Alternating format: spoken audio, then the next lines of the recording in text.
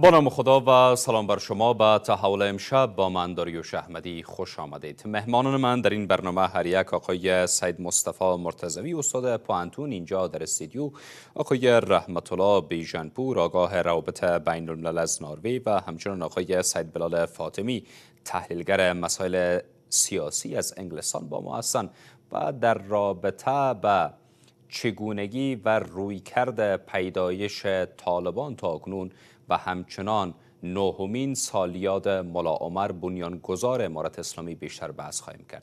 مهمانان عزیز را به بحث خوش آمدید میگم. آقای مرتضوی اجازه بتین در نخست با شما آغاز بکنم. اگر یک عقبگرد داشته باشیم به گذشته ها پیدایش طالبان به امارت اسلامی را چگونه بررسی می‌کنید؟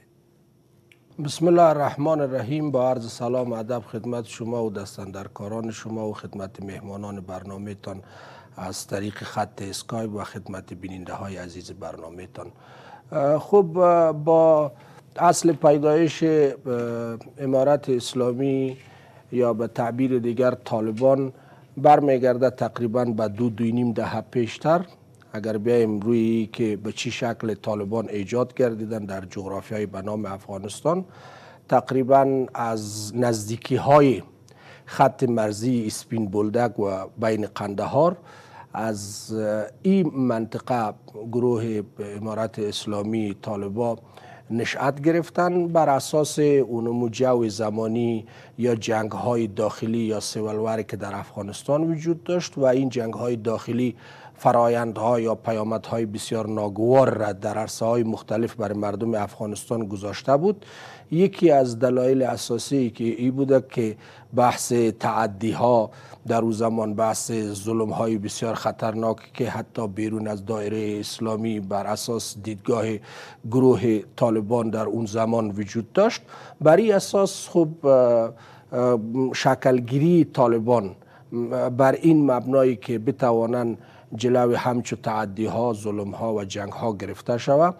از نوارمرزی اسپین بولدک ولایت قندهار آغاز شد و این در نهایت امر آهسته آهسته گروه امارت اسلامی طالبا تسلط کامل بر ولایت قندهار و مرکز ولایت در شهر قندهار گرفتن به همون شکل پیشروی های را به طرف هرات و غزنی و در نهایت امر در یک محدوده کوتاه زمانی به شکل بباورانه در اون زمان برای گروه های جهادی که بود مخصوصا در اون زمان که در رأس حکومت جمهوری اسلامی او زمان آقای شهید استاد ربانی بودن.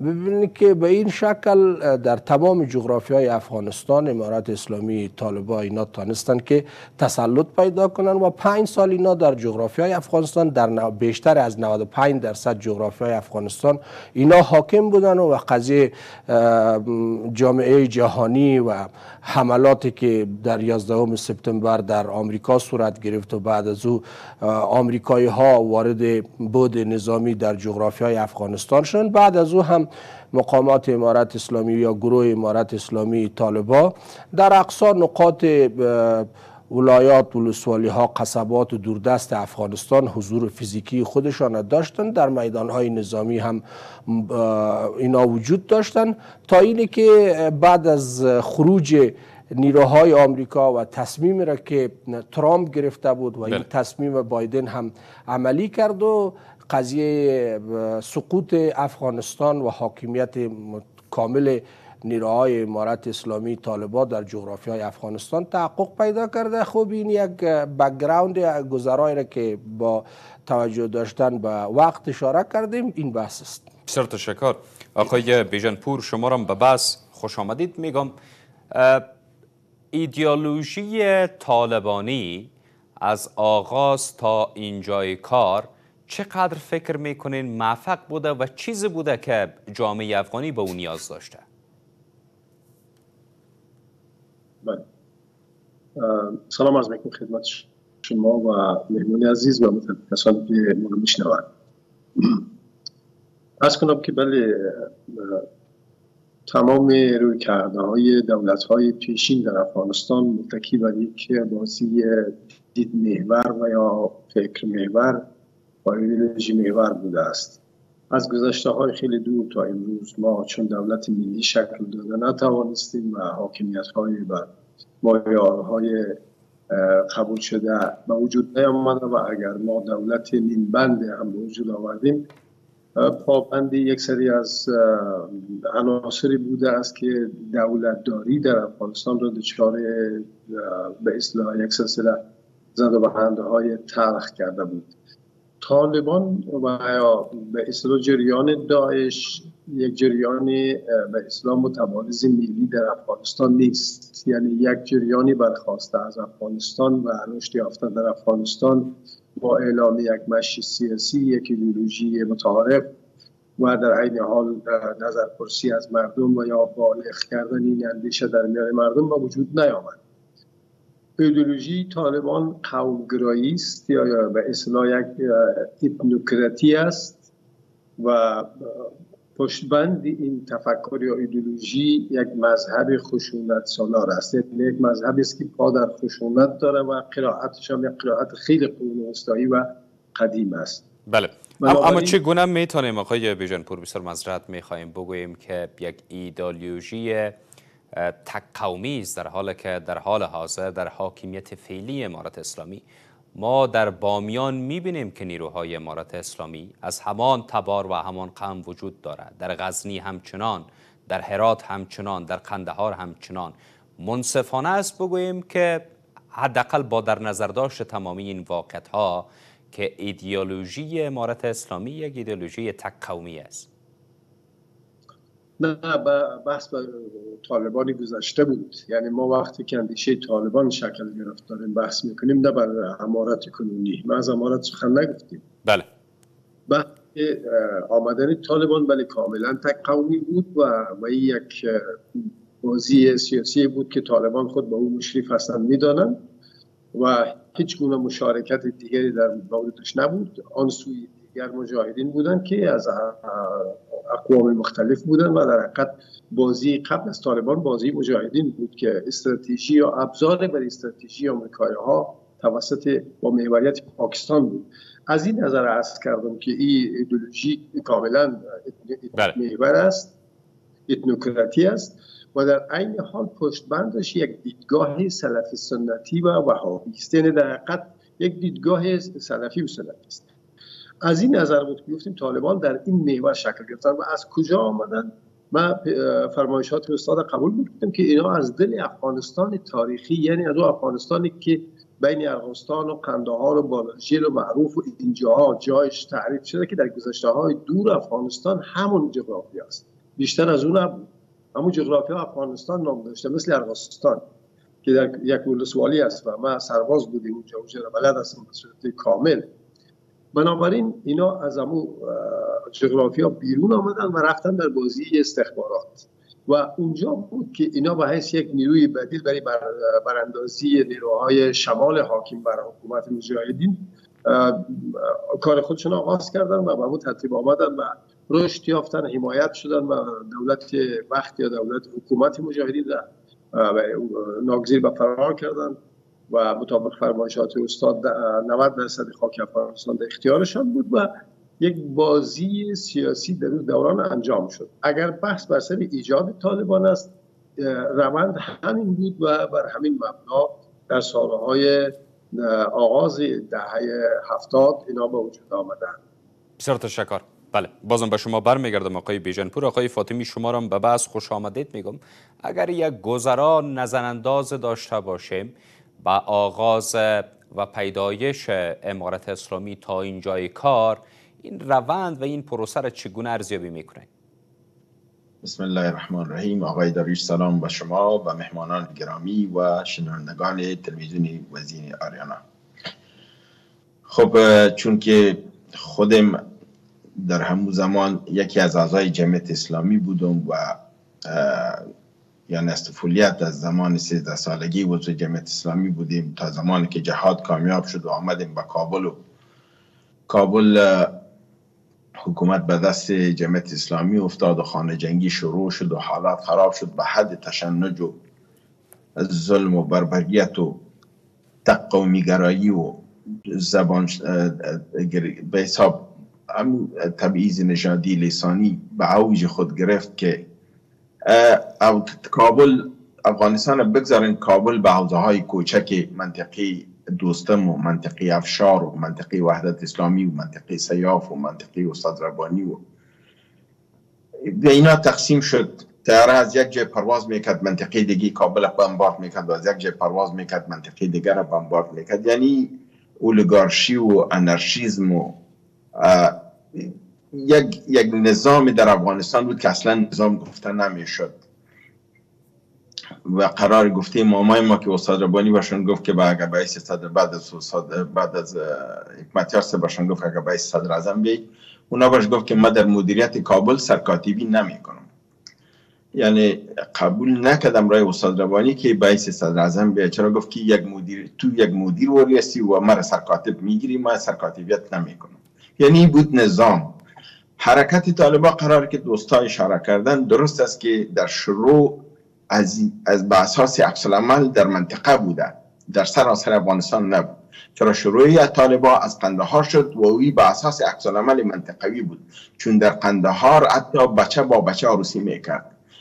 و حتی ظلم و بربریت تا حدی بود که به قرار گفتی خود ملا عمر که گفت که چرا این کار شروع کرد؟ گفت که ما بعد به یک نمک اگر پشتی نمک می رفتیم از سه پاتک از سه بندرگاه باید می گذاشتیم و اگر ما پنج افغانی را نمک می آوردیم ما باید هزار افغانی رشوت می‌دادیم تا از پاتکا میگه. اگر نمی‌دادیم ما را اجازه نمی‌داد. اگر ما می‌رفتیم نیم کیلو گوشت می آوردیم باید قیمت از ده چند بالا پرداخت می‌کردیم. این چیزایی بود که میگم مرا به این وادار ساخت تا یک عکس در مقابل اونمو بود که دوازده تن از نمی ملا محمد عمر مجاهد و رفقاش در یک مسجد میشینن. چرا که این داستان به طوری است که مردم میگن که اینا را استخبارات جهان ساختن. نه اینا زادی حالات امو وقت زمان در قندهار بودن. این که بله. بعدا استخبارات جهان در اینا دست پیدا می‌کنه و قوت اینا را می‌بینه به خودی این موضوع جدا است. اما در در بنیاد در زاده اینا زادی کدام استخبارات جهانی نبودن. خودشان بر, اساس عکس عمل بالفعلی که در, در, در, در اون زمان در منطقه وجود داشت که فرزن اولین کار که کدن اونجا به نام سرکاتب یک قماندان بود که او فرزن بسیار ظلم و بربریت می‌کرد. یک قماندان دیگه بود که او بچه را با بچه روسی می‌کرد و علنی در شهر قندهار در دم روی مردم که با حضور طالبا گرفتن اعدام کردن و با میله تانک آویزان کردن و اولین کارشان هم همیش چیز بود. این عکس عمل در اون وقت بود و پسان که طالبا از اونجا حرکت کردن و ولایات گرفتن آمدن. تا, زمان که اینا تهدید به حکمتیار بودن استاد ربانی اینا را فرزن خواند. وقتی که اینا تهدید به کابل شدن حکمتیار اینا را فرزن خواند و استاد ربانی اینا را اجنبی خواند. یعنی یک عکس بود که در روز زمان در مقابل از اینا صورت گرفت تا زمانی که با 27 سپتامبر 19 1996 اینا آمدن کابل گرفتن که با 25 سپتامبر استاد ربانی و مسعود و اینا کابل ترک کردن و طرف شمال رفتن حکمتیاران با خود گرفتن و از اونجا اینا تقسیم شدن و کسی به ایران رفت و کسی به کولاب رفت و خلاصه افغانستان 95 فیصد در دست حرکت طالبا افتاد بله.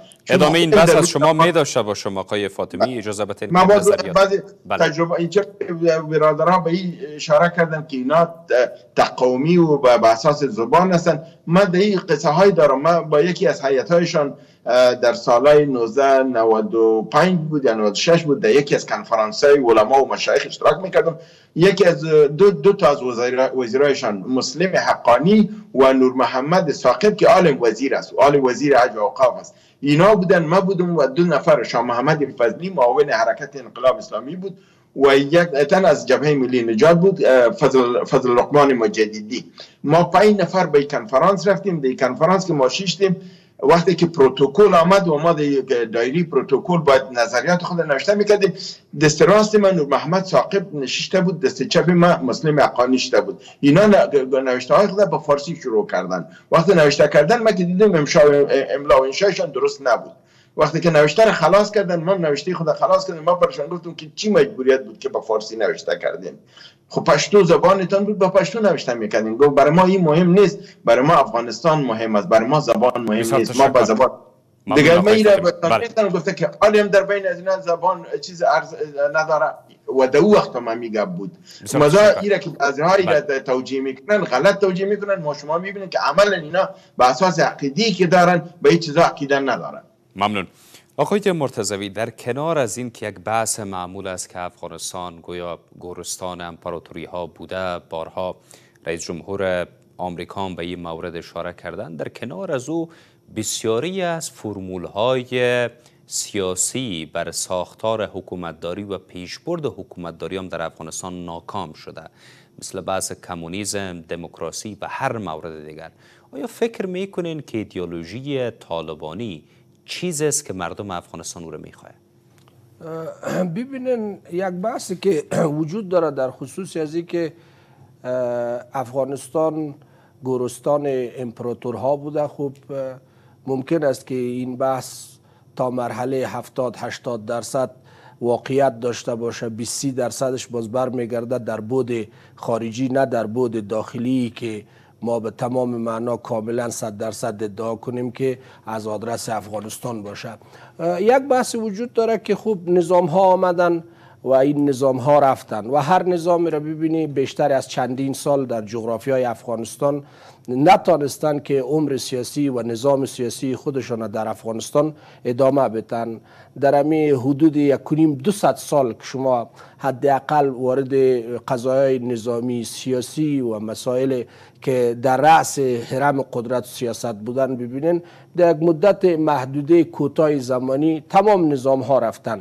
اگر پادشاهی بوده اگر پادشاهی مطلقه بوده اگر جمهوری مثلا داود خان بوده اگر شما ببینین که فصل نوین دموکراسی پسا طالبانی که صورت گرفت با وجودی که جامعه جهانی هم در کنار مردم افغانستان بودن اما بر اساس دلایل بسیار واضح و مشخص که دو تا دلیل عمده و اساسی در قضای سقوط نظام ها وجود داشت. یک قضیه قضیه داخلی بود که تمام نظام ها را وقتی که مطالعه کنین که در جغرافی های افغانستان در 100 سال پسین اینا آمدن بیشتر از 8 سال 10 سال اینا نتانستن استقرار پیدا کنن جز زمان داوود ظاهرشاه که حدود قریب به 39 سال 40 سال اونا تانستن بله. اما اونا هم بر اساس دلایل و جو زمانی که وجود داشت معذوریت هایی که وجود داشت و بحث های دیگه که وجود داشت اون چنان خدمت هایی را که باید در جغرافی های افغانستان انجام می‌دادن که انجام ندادن و با یک تحول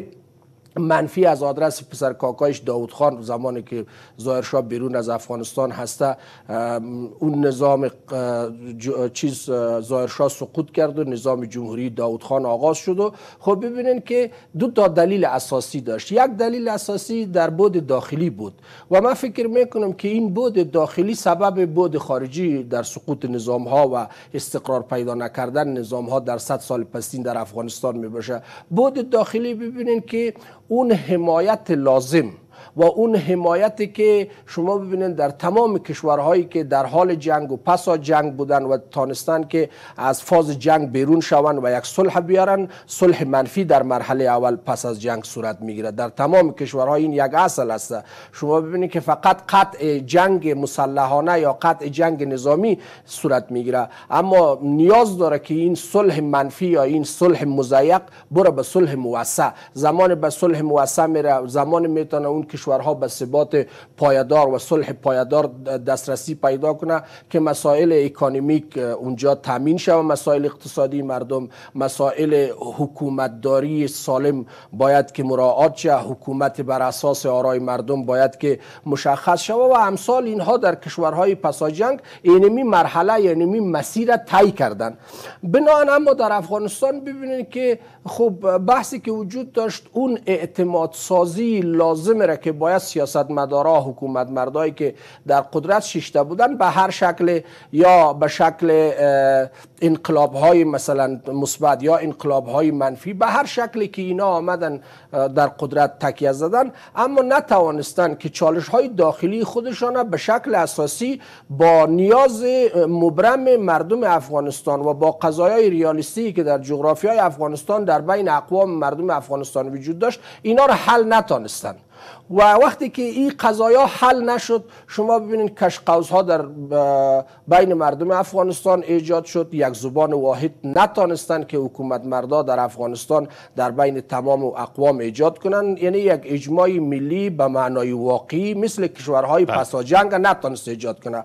و این سبب شد که عامل دوم هم ایجاد شود. اون عامل دوم عبارت از این بوده که خب قضیه مداخلات کشورهای بیرونی در حکومتداری های افغانستان با توجه داشتن با اون منبع اساسی که نتانسته بود حکومت مرداد در داخل مشکلات مردم خودشان حل کنه اجماع ملی را ایجاد کنه سبب شد که مداخلات داخلی هم از این فاز دیگرگونی و عدم اجماع یعنی سیاسی که هر نوع حکومتداری در افغانستان نتانسته دوام پیدا بکنه دلیلش مداخله بیرونی ها بوده. هم هم قضیه مشکلاتی که در داخل جغرافیای افغانستان بودن یعنی عدم اجماع سیاسی.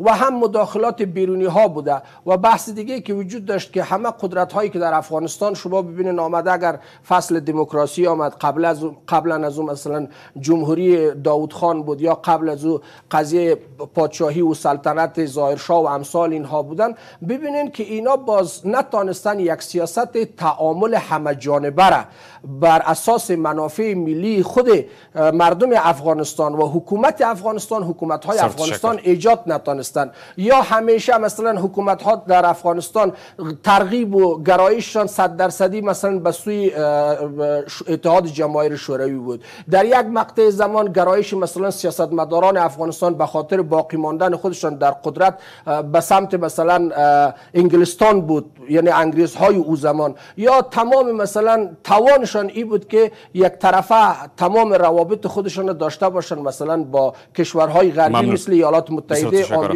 یک سیاست تعادل و توازن با کشورهای همسایه و کشورهای دورتر از همسایه و با جهان. نتونستن سیاستمداران افغانستان در صد سال اخیر ایجاد کنند و این سبب شد که وقتی که حکومت ها در افغانستان گرایش مثلا به سمت اتحاد جماهیر شوروی پیدا کرد یقینا مداخلات انگلستان یا مداخلات مثلا غربی ها از آدرس ایالات متحده آمریکا یا در رأس آمریکایی ها سبب شد که این نظام سقوط کنه. سرتشکار ادامه تحول را پس از وقفه دنبال کنید.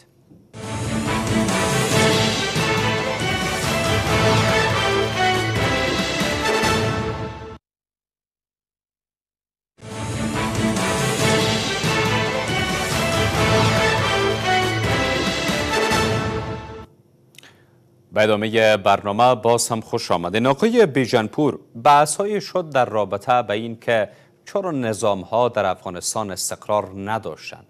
آیا فکر می‌کنین که امارت اسلامی دیدگاه امارت اسلامی و افکار که برای حکومت داری داره مورد باشه که بتانه یک حکومت باثبات را در افغانستان تشکیل بده؟ خب مسلما میگه حکمت پروگرامانه همون درک فاصله درست از نادرست است. فرمایشات دوستان ذهن فکر خودشان است ولی بر روی به اصطلاح باورهای سیاسی در تحلیل ها نیست. مخصوصا او ادعایی که طالبان یک جامعه مشارکت قومی هستند یک جامعه معطوفی به عدالت در افغانستان هستند و یک جامعه معطوفی به ارزش‌های افغانستان.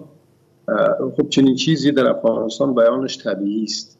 اما از آدرس ما در اینجا زمینه یک نقد و نگرانی و یک نگرش دیگری وجود داره و او این است که در افغانستان اون ترتیبی که دوستان فرمودن در گذشته ها نیز دولت ها در زمین نچسبیدن و بسیار زود حذف شدن و چگونه حذف شدن چرا و دلایلش هم داخلی و خارجی فرمودن اتفاقا همین است. یعنی ما از گذشته های دور در سی صد سال اخیر که دولت های متعارف در دنیا شکل گرفت در افغانستان تا هنوز ما دولت متعارف شکل نداریم.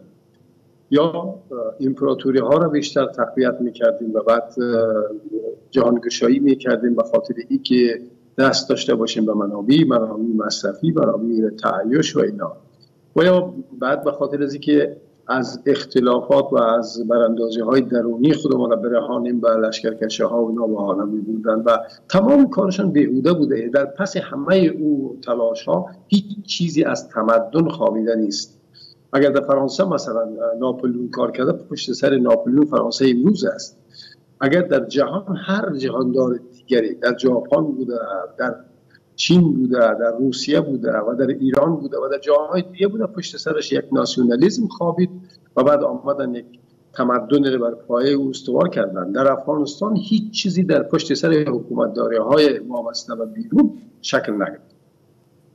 نه تنها در گذشته ها ما وابسته بودیم که در حال حاضر وابسته تره و نسبت اینکه ما از ایدئولوژی جنبه های بسیار خشونت او را به اصطلاح استنساخ می‌کنیم. ما از گرایشات قومی جنبه های شد ناهمپذیری یا ناهمگرایی را یا واگرایی را اختیار می‌کنیم. ما از درک و سیاست های انعطاف جنبه های تشدد انتخاب می‌کنیم. ما در واقع هیچ نوع برادری و برابری و همزیستی را بر نمیتابیم. و این طبیعی است که در زمین افغانستان مشکلی وجود داره و در فضای افغانستان چالش هست. چالش این است که دولت ها بر پایه یک نوع ستمگری و تداوم دادن خودشان و جا نگرفتن و به محض از که مردم اراده کردن براندازی کردن. در افغانستان آزادی همیشه و وجود آمده و امتداد مدیریت آزادی مورده یعنی در حقیقت نتوانست آزادی را مدیریت. هر بار مردم یا در برابر یا در برابر خیزش های دیگری یا در برابر تهاجم دیگانه ها یا در برابر هر متجاوزی وقت حرکت کردن نتیجه را آوردن. اما در جابجایی نتیجه ناکام شد. نتوانستن این کار انجام بدن. در حال حاضر هم شما باورتان اگر به وضعیت موجود باشه که ما با این روش کنونی در سطح یک دولتی که با دریافته های خیلی خیلی به اصطلاح قدیمی است و دیدگاه های کنونی عالم و تحولات منطقه تحولات ملی در او اجماع نمیشه و در باورهای مردم شکل نمی‌گیره و در تحلیل سیاسی ما نیست و در منش رفتار دولت نیست یا حکومت یا حاکمان کنونی نیست. تسری نداره. بنابراین چگونه می‌توان به این تفکر یک حکومت بنا کرد؟ مدت این ستمگری ادامه خواهد یافت و این یاهیگری ادامه خواهد یافت. ولی پیر میشه خسته میشه و بازی های بیرونی برای تجدید ابزار این نیرو را عوض خواهند کرد. یا در وجود این نیرو نیروهای دیگه جابجا میشن یا این نیرو هست میشه نیروی دیگری خواهد آمد یا آن نیروی دیگری هم برای بقا نیست. او نیز برای میرندگی و برای به اصطلاح استفاده ابزاری در یک مقطع است و بعد از یک مقطع او نیز هست خواهد شد. از همین منظر باور ما این است که تکیه بر ایدولوژی یا مذهب یا روش های خشونتی یا قوم یا باورهای به اصطلاح برخواسته از اینها قادر به دولت سازی نیستند. اسباب دولت سازی بازی نیست. اسباب دولت سازی قراردادهای اجتماعی سنگینی است که تاریخی تحولات و تجدد در غرب نشان میده بوده دولت با ثبات با قرارداد اجتماعی شکل بده نه با استبداد قومی یا مذهبی یا گروهی یا هر چیزی دیگره و فرمایش برادرمان که ستم زبانی اشارهشان با زبان فارسی در گذشته بود اتفاقا من آشنای به ها هستم. در ها دولت جمعیت حاکم نبود. جمعیت یادتان باشه که در مرکز محدود شده بود و همین ترتیب در شمال بیشتر. و در قندهار مردم قندهار حاکم و اون مناسباتی که ایشان فرمودن یک مناسبات اخلاقی از گذشته های دور در قندهار بوده که اون مناسبات برخواسته از این وضعیت نیست. از این نظر در حقیقت هم در خندهار هم در بدخشان هم در ننگرهار هم در هرات هم در شمال و هم در جنوب هم در شرق هم در غرب یک سلسله پدیده های هست که به عنوان بازمانده یا تحمانده از فرضیات یا اخلاقیات گذشته اجتماعی ماست. یا قرائت های کنونی که حاکم بر دیدگاه های ماست یک سلسله باورهایی است که از ما نیست اتفاقا. همین روش کنونی روش اسلامی ما نیست. روش اسلامی ما اعتدال بود و حتی باور مذهبی ما یک باور میانه رو است. یک باور مردم پسند است یک باور قابل همزیستی برای زندگی است. بنابراین این خود درجه خشونت برای تابع کردن مردم و سرزنش سرکوب یک مفهوم بیرونی داره. یعنی ما هر قدر قدرت نمایش بدیم برای سودای بیرون برای معامله در سطح بین‌المللی یک امتیاز و سمت خود آورده. و بنابراین تا زمانی که خارجی ها در رابطه با افغانستان به چشم بازی و ابزار بینگردن در افغانستان ثبات آمدنی نیست و هیچ گروهی قادر به یک دست نخواهد ممنون. آقای فاطمی با در نظر داشت چیزی که اشاره شد حداقل در 300 سال گذشته جغرافیای افغانستان نتانسته ثبات سیاسی را تجربه بکنه آیا با تحول سیاسی اخیره که در افغانستان صورت گرفته فکر می‌کنین که زمینه برزی فراهم شده که همین ثبات مستحکم شود و پایه هایش گذاشته شود؟ یا فکر می‌کنین که همچنان همین فرمول سرنگونی ادامه دارد؟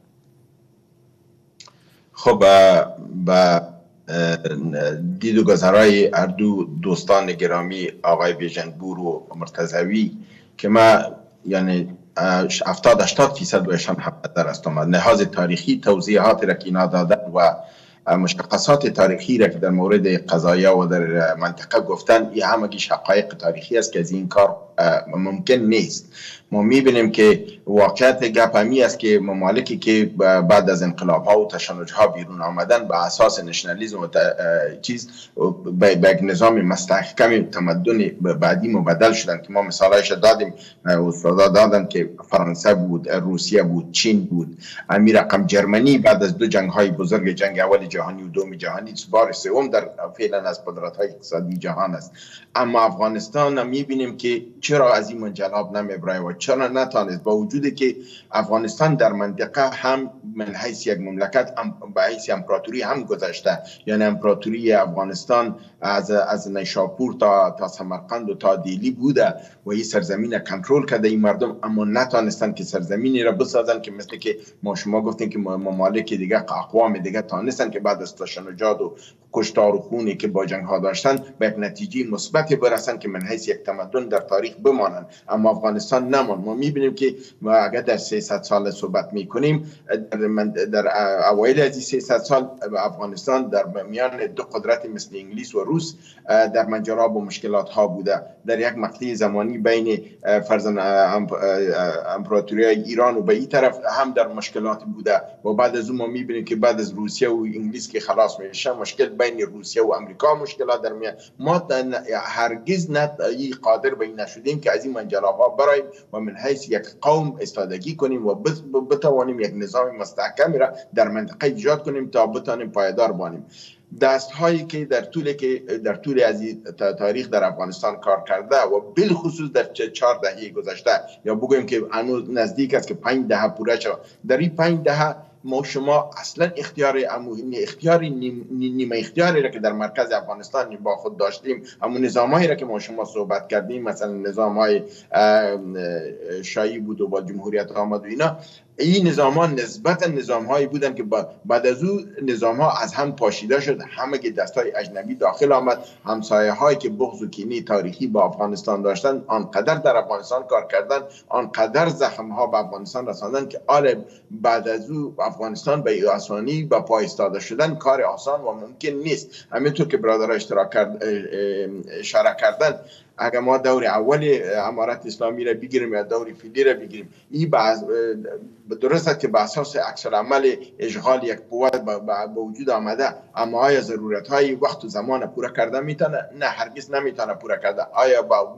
مقتضای زمان هم نوا و هم رنگ است؟ نیست. می‌بینیم امی علت است که مشکلات بزرگ وجود داره و همینطور که اشاره شد که حکومت ها میای و میره این یک واقعیت تاریخی است. هیچ نظام پایدار و دائمی نیست. در, در هر حتی حکومت های دموکراتیک جهان می‌بینیم. برای چهار سال یا برای پنج سال است. یک نفر بله. میه اما وضعیت افغانستان متفاوت است آقای فاطمی. تنها نظام ها نرفتن و نیامدن.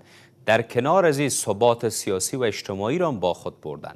سوال اساسی که وجود داره. او است که آیا در شرایط فیلی با این تحول بزرگ سیاسی یک حکومت سرنگون میشه که همه دنیا او را حمایت می‌کرد؟ آیا در حال حاضر فضا بر این مساعد شده که ما بتانیم پایه های ثبات را در افغانستان محکم بسازیم؟ یعنی گفت شما درست است که نظامی که آمده با خود همه حس بود ما را دوباره برده. ما هر بار از صفر شروع کردیم. و اونمو علت است که با از صفر شروع کردیم نتانستیم که همون صفر هم درست بگذاریم و عددی را که باید از صفر شروع می‌کنیم به طرف یک بریم. ما به طرف منفی یک رفتیم. ما به طرف مثبت یک هرگز نامدیم ما به طرف منفی یک رفتیم. بدون استثنای نظام های که در طول امی در وقت ما سر صحبت کردیم. همه نظام های ما بالخصوص نظام های چه 50 سال گذشته به همین طور بودن. هرگز به طرف مثبت یک نامدن از صفر شروع کردن به طرف منفی یک رفتن. اما علت است که افغانستان به وجه که جور شوه به طرف خرابی رفته پارشگی رفته. شما گفتین یک نظام قبل از این وجود داشت. اون نظام از ما شما نبود. اون نظام تحمیلی بود که در بن جرم شد. اون نظامی بود که اصلا ما گپ از مشروعیت داخلی و خارجی در مورد طالبان صحبت می‌کنیم همیش. آیا اون نظامی که آورده شد اون مشروعیت داخلی و خارجی داشت؟ اصلا نداشت. او را جور کردن آوردن برای ما. در, در مشروعیت خارجیش در بن رایگیری شد. آقای سیرت اش رای برد کرزه سه رای برد. چرا کرزه بیوازی سیرت آوردن؟ چرا سیرت نشاندن؟ ببینید مشروعیت خارجیش هم خراب بود. مشروعیت داخلیشی بود که نمایندگی از مردم افغانستان نمی‌کرد. مردم افغانستان انتخاب نکرده بود و نظام وقتی که کرزه آمد کرزه دست نشانده شاشوجا بود. فلحاظ نظام فعلی که آمده اگر بخواین که چون نظام فعلا در دست داره افغانستان در دست واحد از حکومت مرکزی وجود داره باید از این چیزهای کوچک و خرده که باعث مشکلات در نظام میشه. باعث فاصله بین مردم و بین نظام میشه. از اینا باید دست بگیرن. باید یک پلان و پروژه وسیعتری را برای تشکیل نظام در افغانستان بسازن تا بتانن یک نظام واقعا در افغانستان که تمام اقوام مردم افغانستان در او خوش باشه آینده خود ببینه و اون نظام باشه که پایدار باشه.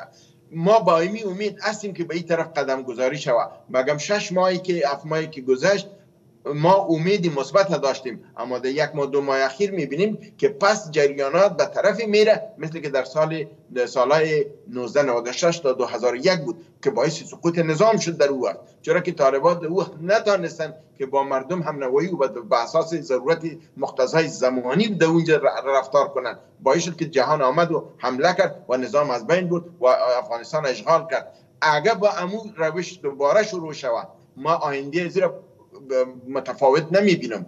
اما اگر اینا روش خود تغییر امیدی بود که روش ها تغییر بخوره و نظام با یک نظام واقعی و درست به اساس هم قربانی هایی که داده شده برای مردم ساخته شد صورت ما شما می‌تونیم با یک امید به طرف بریم و همه برادروار بدون تمییز زبان و منطقه و لسان و مذهب دست به دست هم بتیم و واقعا من حیث یک ملت واقعی منسجم در این خطی که به نام افغانستان است دست یک زندگی آرام و با آسایش با هم داشته باشیم. اما اگر به این رقم نشوه امید افزا نیست. همین رقم که نظام های دیگری فرزن پایدار نبودن امید آینده از این نظام همچو تشکر ممنون آقای فاطمی.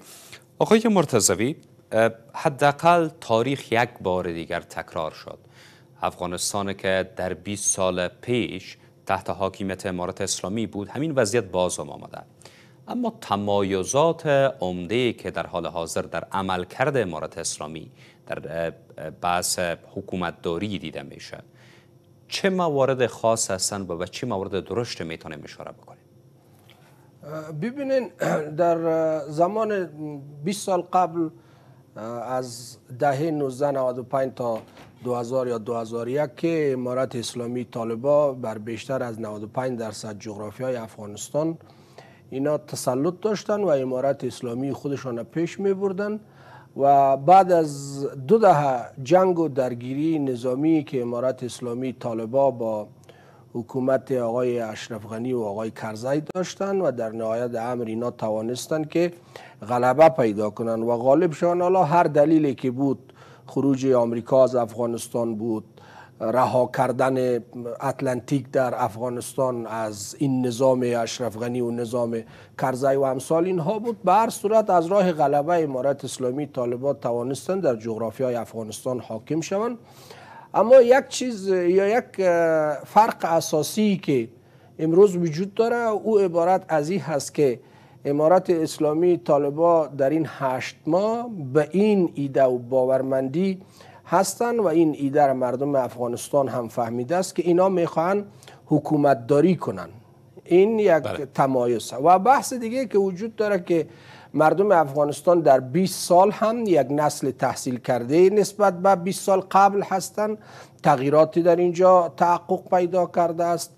مردم رفته است به سمت سوی مدنیت به سوی سمت سوی حقوق خودشان و آگاهی از حقوق خودشان. ولو به شکل مجمل یا مبهم پیدا کردن. خب اینا حقیقت هایی هستند که مقامات مخصوصا امارت اسلامی طالبان در این قضایا کاملا یعنی فهمیدن که این مسائل است که امروز با مثلا با یک جامعه یا با یک نسل روبرو هستیم که به یقین یعنی نسبت به 20 سال به این جامعه امروزی ما مثلا مقابل نبودیم.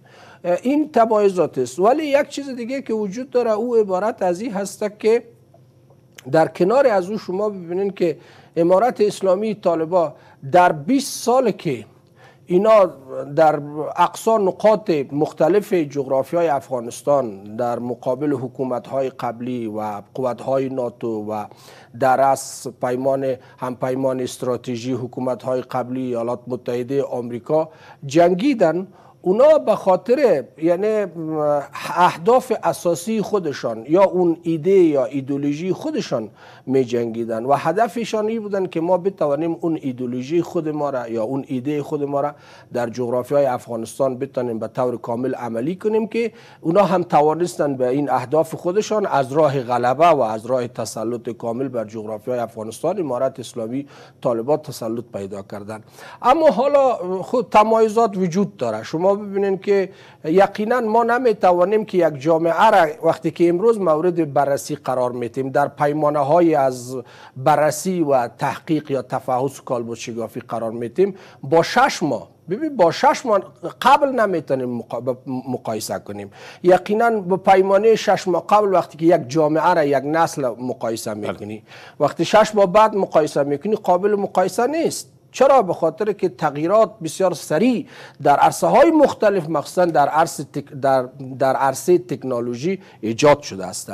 این یک چیز اساسی است که امروز اون چی که بسیار مهم هست و عبارت از این است که باید امارت اسلامی طالبا خب اعتماد سازی اساسی را با مردم ایجاد کنه. من وقتی که این حرف میگم به این معنا نیست که مردم مردم افغانستان اقوام مختلف افغانستان از امارت اسلامی طالبا حمایه نمی‌کنن یا اعتماد اما باید اعتماد کامل و حمایه کامله مردم افغانستان از امارت داشته باشه و زمان می‌تونه که این قضیه تحقق پیدا کنه که از سوی دیگه هم امارت اسلامی طالبان نخبگان امارت اسلامی طالبان کسانی که در رأس هستند اینا هم حمایت همه جانبه خودشانه.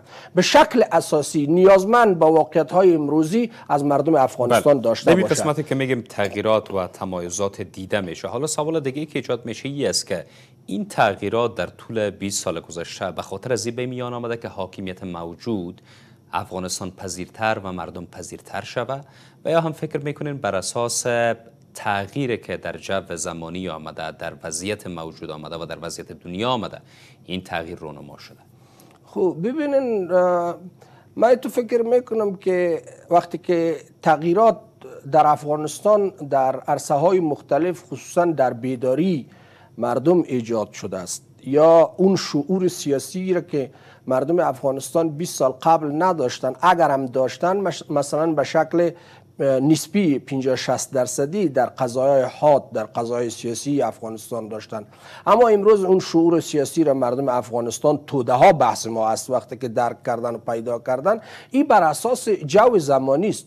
وقتی که جهان میان به سمت و سوی پیشرفت و ترقی به سمت پختگی سیاسی و اون خرد سیاسی و مدیریت سیاسی حتی توده ها در خرد حکومتداری می‌توانند که دست بالا را پیدا کنند جامعه افغانستان هم یک جامعه بشری است و این یک تافته جدا بافته از تاخته جدا بافته از جامعه جهانی نیست یا به یک تعبیر دیگه این مردم افغانستان خب به شکل نیست که از یک قاعده جهانی اینا استثناء باشند بلکه جامعه افغانی هم یک جامعه انسانی هستند اگر همگام با پیشرفت های جامعه جهانی نتوانند که اینها گام بگذارند. حداقل یک قدم مثلا عقبتر از پیشرفت های جامعه جهانی جامعه مردم افغانستان هم گام می‌گذارند. بر اساس جو زمانی که امروز در جهان حاکم شده است. امروز ببینید که به یقین 70 50 30 سال 20 سال قبل وقتی که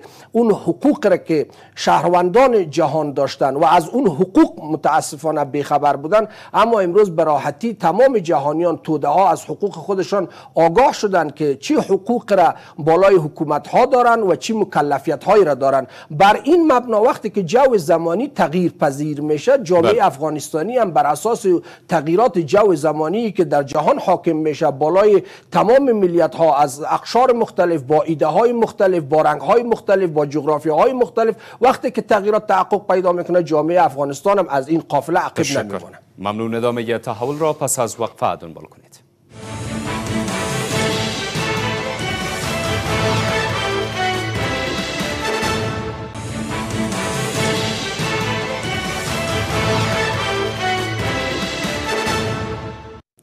به ادامه برنامه باز هم خوش آمدین. آقای بیژنپور می‌خوایم بحث جنبندی بکنم. با دیدگاه شما درس هایی که امارت اسلامی موجود در طول 20 سال گذشته با تغییر زمانی که بین امارت اول و امارت دوم وجود داشت می‌تونه بگیره چه موارد هستند به خاطر پیش برد حکومتداری در حال حاضر به دیدگاه شما چقدر نیاز به یک تغییر است؟ و اگر قرار باشه که این تغییر نیایه چه موارد را برخورد خواهد کردیم ولی به نظر من در یک فشرده سازی بحث امروز طالبان آمده بودن برای یک انتقام طلبی 22 سال پیش که سرکوب شده بودن و کشیدنشان از افغانستان. اما چون ماجرا با ترتیبی اتفاق افتاد که او فرصت برایشان میسر نشد که تقابل کنند در یک میدان خالی وارد شدن و در حقیقت خشونت به میان مردم بودن یعنی چون تقابلگر نبود با مردم در افتادن و این حکومت داری نیست یعنی حکومتگری نیست. اتفاقا از نظر علوم سیاسی در حال حاضر دیگه نمی‌توان ساختارها را به اساس قرینه های قرون وسطایی گذاشت هیچ جای دنیا قبول نمی‌کنه و هیچ انسانی هم پذیرای او باورها یا او درک دریافت ها و شیوه های گذشته نیست. شیوه ها باز تعریف باید شوند دینی دولت ساز وجود نداره در حقیقت ما دین دولت ها را نساخته در دنیا. دولت ها از دین به مسابقه یک ارزش در زمینه عالی نکردن ارزش های دیگری استفاده کردن یعنی دولت ها دین آفرین شدن و این چیزی است که در افغانستان نیز اما ترتیب باید باشد. و مردم از دین خویی با دین خویی خود نترسانیم. یعنی دین خویی کردن گریز از تجربه گریز از علم گریز از به اصطلاح پیشرفت تحول تجدد جهانی بودن با جهان همراه شدن اینا ما را به جایی نمیرسانند تکیه بر یک نوع کشونت بر پایه عقب ماندگی و قهقرایی بودن خودمان و جدایی از جهان اینا بیماری است که ما را آزار میده یا آنست هایی است که در ذهن ماست و به نحو ما را از دنیا جدا می‌کنه و خشونتی برخواسته در حکومت های افغانستان از همین روز کسی نتوانست از پیشرفت به اصطلاح یک روش قرار بده برای خودش مردم را مسیر پیشرفت ببره بنابراین دچار مشکل شده. از این نظر باور من است که ما چند حلقه داریم. اگر کوتاه است که خدمتان حلقه های ستوده حلقه های موجوده و حلقه های مفقوده و حلقه هایی که باید نیاز تلقی شود. در ستایش همیشه و مسئله نقد، هنجارمندی، آزادی، ساختارگرایی و دولت سازی چیزایی بودن که ما در همیشه با دنبالشان هستیم و اونا رو باید طالبا تمکین کنن و طالبا با این منش اکنومی به هیچ جای دنیا نمی‌رسن و براندازی میشن. حلقهای موجوده بیداد و ستم ببینین درشت خویی و دین خویی آزار مردم حمله به هر چیزی بالاخره اختلافات کردن اختلافات مذهبی قومی و خیلی از مسائل دیگر. که اینا بیماری است که ما را متاسفانه متوحش می‌کنه و مردم را در ساختارهای حکومت تشویق نخواهد کرد. حلقه های مفقود قوانین است. ببینید چیزی که در افغانستان حتی در دوره 20 ساله که شما را دوره زرین گفتیم قانون آمد حکومت قانون شکل نگرفت. ما فقدان قوانین حاکمیت های قوانین قراردادهای اجتماعی مشارکت عمومی عدالت آزادی و گزینش در میان مردم بهگزینی و شایستگی شایسته سالاری و خیلی از مسائل دیگه که اینا مفقود بودن. اصطلاحات هم که به کار می‌رفت متاسفانه هاونگرایی در پوشش دموکراسی. درشت خویی در پوشش دین. بله. نمی‌دانم تقاب پوشش آشتی.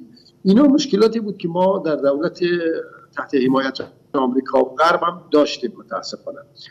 اوقای نیاز یا چیزی که همین بحث ما و شما با تکیه می‌کنه مسئله اقلانیت است جمعیایی است آزادگی است برنامه آفرینی است دولت ملی است و یک نوع اخلاق مشترک و آگاهی بر پای سکولاریسم است.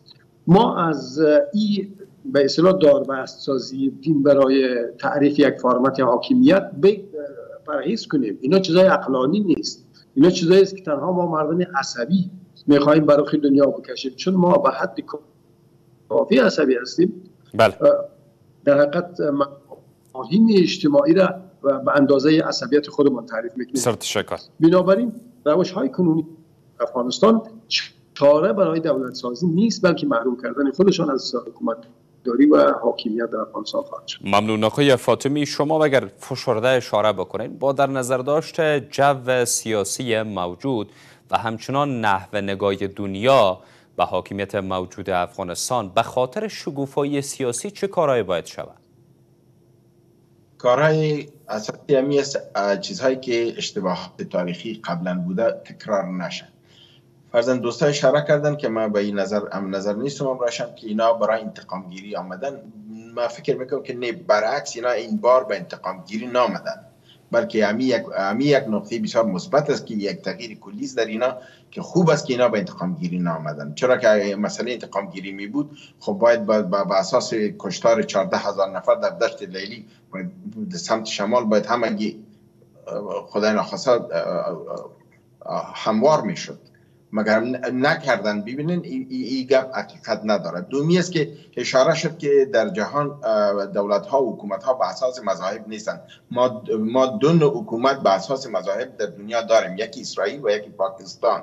و سیوم شاید حکومت امارت اسلامی باشه. و امید است که همینطور اشاره شد که همینطور نباشه. چرا که ما و شما به یک حکومت سیاسی و اگر ما به یک حکومت به اساس مذهب نمی‌خواهیم سکولاریزم هرگز نمی‌خواهیم. در افغانستان نه سکولاریزم مطلق کامیاب شده می‌تونه و مردم به او تن نمیتن و نه به حکومت مطلق العنان مذهبی تن میتن.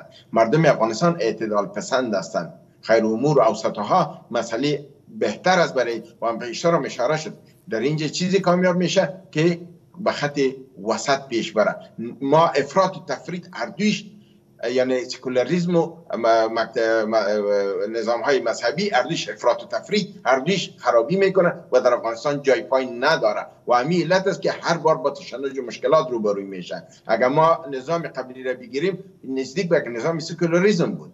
چرا که هر نوع در کابینه شولایی بود ستمی بود افغان ملتی بود جمعیتی بود حزب اسلامی بود کلگی فالوده را جور کرده بودن پالو یکی دیگه شته بودن. های سرسخت یکی دیگه بود اما به زور آقا لالا پالو یکی دیگه شته بودن. یکیش میخش به نماز یکیش نمیره به نماز. یکیش روزه می‌گرفت یکیش روزه نمی‌گرفت. اصلا یک بیبندوباری بود. این رقم نظام ها پیش نمیره اعتدال بهترین رایز و خداوند هم اعتدال میپسنده پیامبرش هم اعتدال میپسنده و امت و جهان انسانیت هم اعتدال میپسنده. و اعتدال است تغییر کلی سر تشکر مشکل است. اما امید داریم چیز مشکلات های که ما تجربه 50 ساله داریم تکرار نشه. یک نظام معتدل و اعتدال پسند به این ملت پیش شود. تا باعث جمعوری از این سرزمین شود. ممنون. آقای مرتضوی آخرین پرسش. راه قابل قبول برای همه طرف ها چه است؟ اولا به همون شکلی که یک ماه یک ما قبل مقامات امارت اسلامی اعلان کردند که سیاستمداران افغانستان نخبگان سیاسی افغانستان که نقش بارز و تاثیرگذار خودش در حوزه های مختلف مخصوصا در حوزه فعلی بود اقتصادی مسئله که افغانستان امروز تقریبا به یک تحریم قرار گرفته و از سوی دیگر هم جامعه جهانی سیاست های خصمانه خودش نسبت به واقعیت عینی و نسبت به مردم افغانستان داشته است. اون چیزی را که مقامات امارت اسلامی اعلان کردن که ما یک طرح را روی دست داریم که بتوانیم این طرح به پایه اکمال برسه تا سیاستمداران نخبگان افغانستان و در مجموع کسانی که در تغییرات مثبت اوضاع افغانستان می‌تونه نقش اساسی را ایفا کنه. و اونا رو بستر سازی کنیم که در جغرافیای افغانستان بیاریم. این یک بحث بسیار مهم و اساسی که مقامات امارت اسلامی باید این طرح ادامه بده تا بتوانه اونها را نه به اون حرفی که تنها اونا در افغانستان بیان زندگی کنه بلکه از مشوره های اونها از نقش اونها استفاده در بهبود اوضاع سیاسی افغانستان کنه. و بحث دیگه که وجود داره که مقامات امارت اسلامی طالبا باید یک سیاست تعامل با تمام جهان داشته باشند که این سیاست تعامل سبب شود که سیاست تقابل خصمانه جامعه جهانی نسبت به افغانستان کاهش پیدا کنند سپاسگزار هستم از حضور مهمانانم. هر یک آقای سید مصطفی مرتضوی استاد پانتون اینجا در استودیو آقای رحمت الله بیژنپور آگاه روابط بین الملل از ناروی و همچنان آقای سید بلال فاطمی تحلیلگر مسائل سیاسی از انگلستان. با سپاس شما که بیننده تحول امشب بودید. برنامه تحول در همین جا به پایین می‌رسد. خدا نگهدار. you